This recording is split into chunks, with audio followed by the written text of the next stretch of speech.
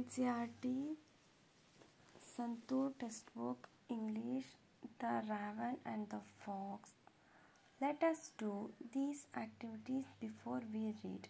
We know that the frogs croak. Did you know that the ravens also croak?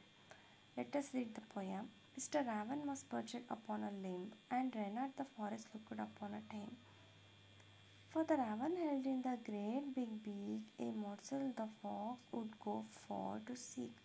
Said the fox in admiring tones, My word, Sir Raven, you are a handsome bird.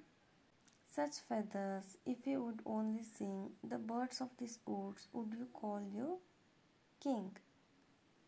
Question is answer. Which animal is shown to the cunning in the story? Circle the correct answer. Answer is fox. Fox is a cunning animal in the story. Next paragraph is The raven who did not see the joke forgot that his voice was just a croak. He opened his beak in his foolish pride, and down fell the morsel the fox had eyed. Ha ha, laughed the fox, and now you know.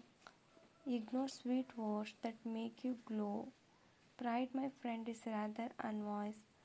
I am sure this teaching is a quite a surprise.